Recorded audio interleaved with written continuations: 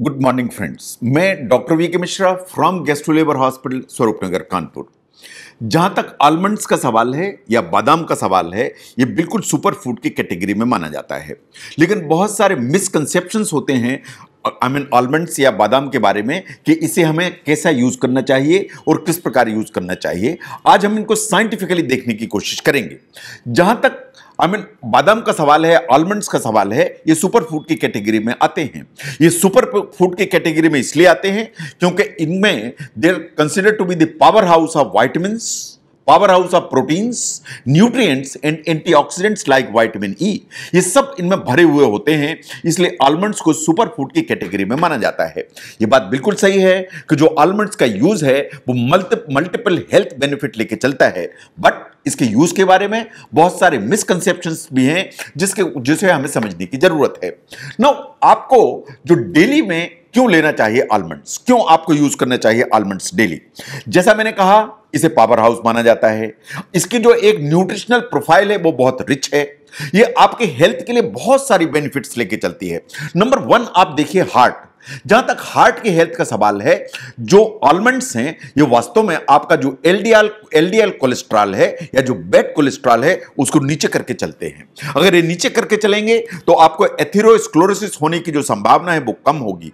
ये एचडीएल को ऊपर करके चलते हैं। अगर एचडीएल ऊपर की तरफ़ रहेगा तो आपको हार्ट की जो प्रॉब्लम है, उसके होने की संभावना कम होगी। तो अगर हम हार्ट की हेल्थ को देखें तो जो आलमंड्स है, वो आपको हेल्प करते हैं। No look at the diabetes बहुत सारी स्टडीज़ ने ऐसा बोला कि अगर आप रेगुलरली आलमंड्स कंज्यूम करते हैं तो आपका H B one A C जो तीन महीने का एक एवरेज देता है अब ब्लड शुगर लेवल वो नीचे की तरफ़ रहता है। ऐसे ही आपका जो ब्लड शुगर है, उसके कंट्रोल में जो आई मीन डायबिटीज़ है, उसमें हेल्प करता है अगर आप प्रॉपर अमाउंट में जो आलमंड्स है, उनको कंज्यूम करते हैं। अगर आप वेट को ध्यान से देखें, जो बॉडी वेट का सवाल है, जब आप आलमंड्स कंज्यूम करते हैं तो ये पेट के अंदर जो सेटाइटी का जो लेवल है, उसको ऊपर करके चलता है। अगर सेटाइटी ऊपर की तरफ़ रहेगी तो आपका ओवरऑल जो कैलोरी का कंजम्पशन है वो नीचे की तरफ़ रहेगा। और अगर ओवरऑल कैलोरी का कंजम्पशन नीचे की तरफ़ रहेगा तो आप बॉडी के वेट को मेंटेन करने में ज़्यादा सक्षम हो पाएँगे इन कंपैरिजन टू दोज जिन्हें सेटाइटी प्रॉपर नहीं है। तो इसलिए अगर हम देखें, जो बेनिफिट्स ऑफ़ द आलमंड्स वो बहुत सारे हैं but these are the main three number one is the heart second one is the diabetes number three is the weight management इसके लिए आपको आलमंड्स ज़रूर यूज़ करने चाहिए। नो सबसे पहला जो क्वेश्चन हमेशा पूछा जाता है कि क्या आलमंड को छील के हमें खाना चाहिए? बादाम को छील के यूज़ करना चाहिए? या बादाम को विथ स्किन या कवरिंग के साथ यूज़ करना चाहिए? साइंटिफिकली जो बादाम है उसको आपको कवरिंग के साथ ही यूज़ करना चाहिए। इसका जो छिलका है उसको ज़रूर यूज़ करना चाहिए। ऐसा माना जाता है कि जो आई I मीन mean, छिलका है बादाम का या आलमंड का? Is a rich source of polyphenols जो पॉलिफिनॉल्स हैं these are plant based antioxidants इन इनमें बहुत सारे माइक्रो न्यूट्रिएंट्स होते हैं। इसके अलावा it's a very rich source of fibre तो जहाँ तक बादाम का सवाल है, उसको छीलने के बजाय छिलके सहित ही इस्तेमाल करने की ज़रूरत है।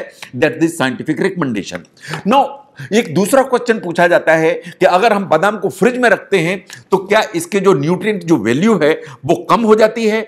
ऐसा नहीं है। अगर आप फ्रिज में रखते हैं तो इसके जो न्यूट्रिशनल जो कंटेंट हैं ऑफ़ द आलमंड्स, उन पर कोई असर नहीं पड़ता है। तो फ्रिज में इनफेक्ट अगर आप रखते हैं तो इसकी जो एक शेल्फ लाइफ है, वो वास्तव में बढ़ जाती है लेंगन हो जाती है। बट जहाँ तक न्यूट्रिएंट जो वैल्यू का सवाल है आलमंड्स की, फ्रिज में रखने से उसमें कोई ऐसा फ़र्क नहीं पड़ता है। तो आप उसको आसानी से फ्रिज में रख सकते हैं there is no problem no what about the roasted almonds क्या रोस्ट करने से इसकी जो न्यूट्रिएंट वैल्यू है, वो गड़बड़ हो जाती है? साइंटिफिकली हम देखें कि ये मिसकंसेप्शन है। अगर आप रोस्ट करते हैं तो आलमंड की जो न्यूट्रिशनल वैल्यू है, उसमें कोई नेगेटिव इंपैक्ट नहीं आता है। रोस्ट करने से सिर्फ़ इसका जो वाटर कंटेंट है, वो तो अलग होता है। लेकिन जो अदरवाइज़ जो न्यूट्रिशनल कंटेंट है, वो गड़बड़ नहीं होते हैं। इनफैक्ट जो न्यूट्रेंट जो कंटेंट है, या न्यूट्रिशनल जो कंटेंट है, वो डेंस हो जाते हैं। तो कोई भी इस तरह का नेगेटिव इंपैक्ट रोस्टिंग से नहीं आता है। लेकिन ये बात सही है कि अगर आप बादाम रोस्ट करें उसके बाद उसकी शुगर की कोटिंग करें, उसमें बहुत सारा ऑयल यूज़ करें तो इसके कैलोरी वैल्यू ऊपर की तरफ़ जाएगी। इस पर आपको ध्यान देने की ज़रूरत है। अदरवाइज़ प्लेन आप जो रोस्ट बादाम यूज़ करते हैं, उसका कोई नेगेटिव इंपैक्ट नहीं है। ना बादाम आपको ऐसे ही खाना चाहिए या आपको उसको भिगो के खाना चाहिए? ना अगर हम ध्यान से देखें कि अगर आप बादाम से फॉर एग्जांपल ओवरनाइट भिगो के रखते हैं या छह घंटे भिगो के रखते हैं, अगर आप जो सोक्ड बादाम यूज़ करते हैं तो ये डाइजेस्टिबिलिटी बढ़ाता है। जहाँ तक न्यूट्रिशनल वैल्यू का सवाल है, इसकी, इसमें कोई फ़र्क नहीं पड़ता। जो न्यूट्रिशनल वैल्यू ऑफ़ द रा बादाम या सोक्ड बादाम is the same the only difference is कि आप अगर इसको सोक करके यूज़ करते हैं तो इसकी जो डाइजेस्टिबिलिटी है, वो बेटर हो जाती है, बढ़ जाती है। तो अगर digestibility is is the issue तो इसको आप सोक करके यूज़ करें। नो बहुत लोग ऐसा पूछते हैं कि क्या आलमंड बटर यूज़ किया जा सकता है? ज़रूर। जो आलमंड बटर है, उसको ज़रूर यूज़ किया जा सकता है।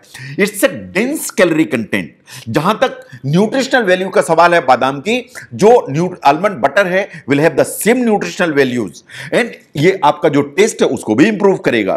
तो आप जो आलमंड बटर है, उसको ज़रूर इस्तेमाल करें। लेकिन इसमें डेंस न्यूट्रिशनल कंटेंट है तो इसलिए उसकी जो अमाउंट है, उसको हमेशा आपको वॉच करने की ज़रूरत है। At any point of time one tablespoon से ज़्यादा आपको आलमंड बटर यूज़ नहीं करना चाहिए।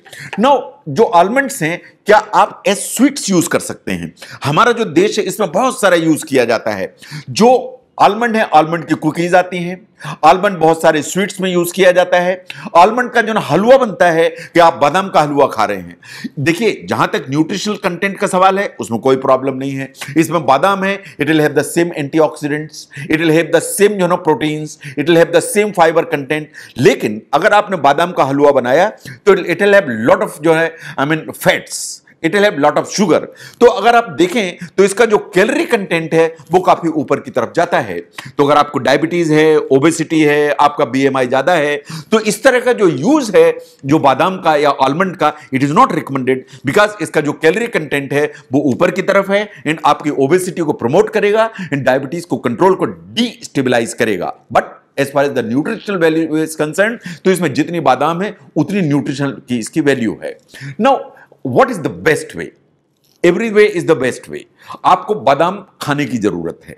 But the only thing is कि आपको इस चीज़ को समझने की ज़रूरत है कि ना डे यू जस्ट जो ना एक मुट्ठी बादाम की ज़रूरत है। बहुत सारे बादाम खाने की ज़रूरत नहीं है। आप उसको सोख करके खाएँ। आप उसको रा खाएँ। आप उसको आई I मीन mean, किसी भी दूसरे उसको यूज़ करके खाएँ उससे कोई फ़र्क नहीं पड़ता है।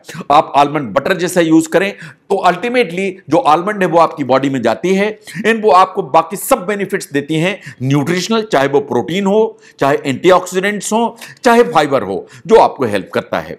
और बादाम के यूज़ को समझने में अगर ये जो वीडियो है ये आपको हेल्प करता है तो इसको ज़रूर शेयर करें। मैं doctor V K Mishra from Guest to Liver Hospital, Swaroopnagar, Kanpur. Thank you very much.